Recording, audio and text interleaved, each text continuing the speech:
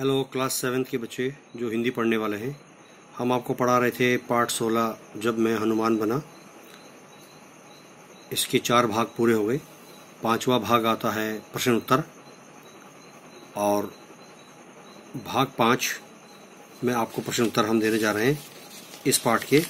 तो प्रश्न उत्तर कुछ इस प्रकार से है। और पेज नंबर है 126 पर वो यहाँ लिखा है। आप यहाँ देख सकते हो, यहाँ लिखा है साफ़ साफ़ पार्ट 16 जो आपने पढ़ा है, जब मैं हनुमान बना, इस पार्ट में कहानी लिखने वाला जो लेखक है, उन्होंने रामायण के बारे में कौन कौन से पात्र किस तरह से अपने रोल को अदा करते हैं, भूमिका निभाते हैं, उसके बारे में विभिन्न प्रकार के विचार हमारे सामने रखे हैं। इस पार्ट में हास्य व्यंग शैली का उपयोग किया गया है। इस शैली में रामलीला के रूप रंग, पात्र चयन और फिर हनुमान का किरदार करने वाले लेखक की मनोदशा का वर्णन लेखक ने स्वयं किया है।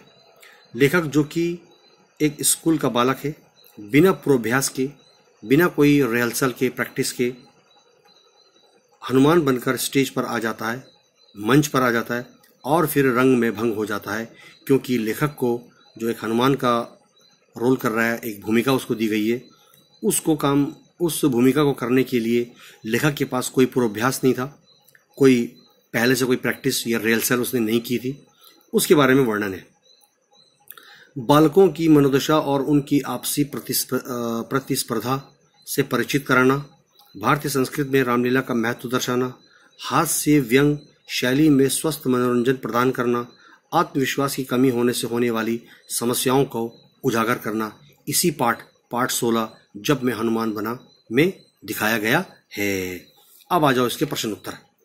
यहाँ आप देख सकते हो, पहला प्रश्न है सबने मिलकर किस बात पर विचार किया?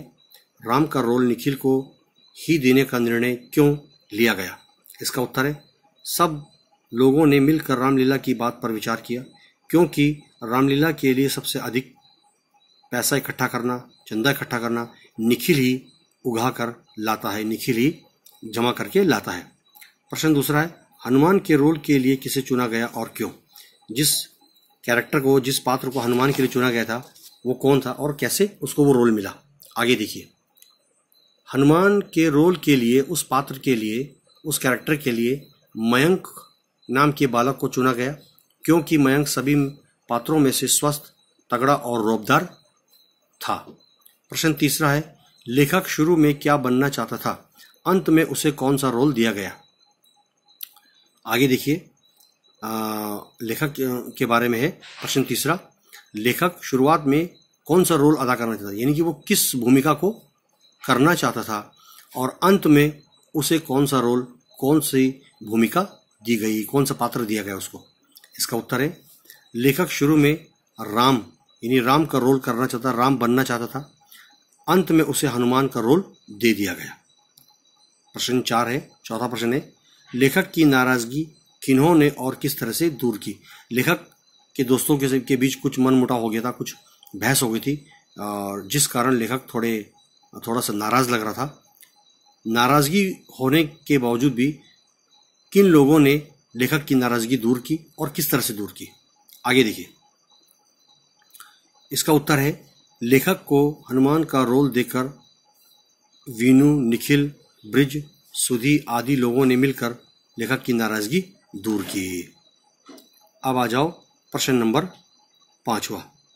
क्या आप समझ सकते हैं कि नाटक या रामलीला में किसी भी भूमिका को निभाने के लिए रिहर्सल या पूर्वाभ्यास आवश्यक है? क्यों?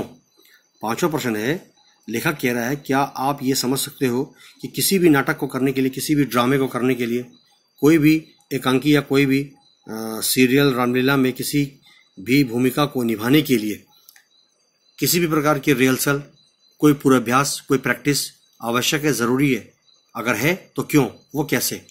आगे देखिए। इसका उत्तर है, नाटक या रामलीला में कोई भी ड्रामा, कोई भी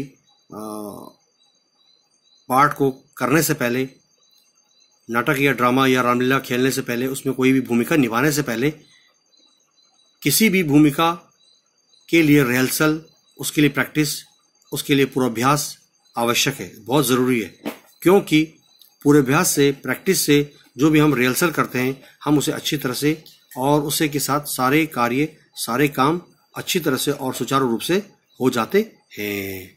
बहुत बहुत धन्यवाद।